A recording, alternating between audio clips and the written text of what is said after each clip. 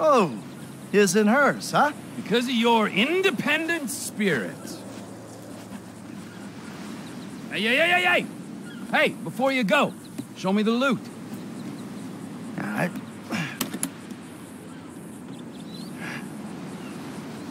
It's perfect. Perfect for fucking what? For squaring things with that Mexican psycho. We give him this, and you end your relationship with that little lady.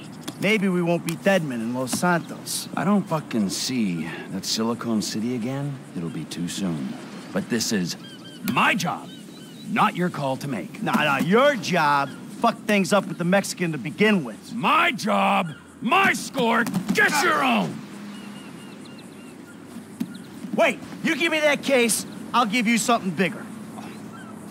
What? Union Depository. Fuck off. Can't be done. I never said impossible.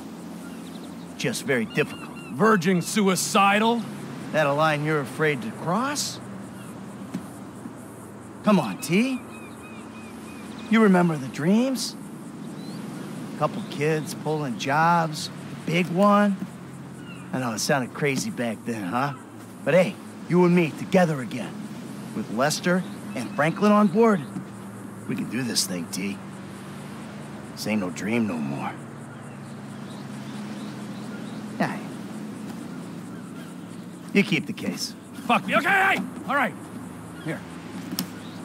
Keep that silly fucking thing. And you can keep Patricia as well, all right? Because I respect that lady and I ain't gonna hold her back. Thank you.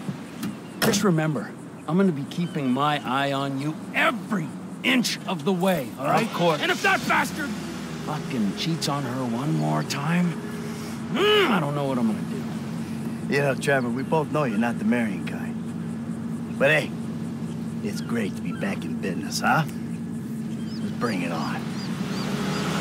The big one! The big one!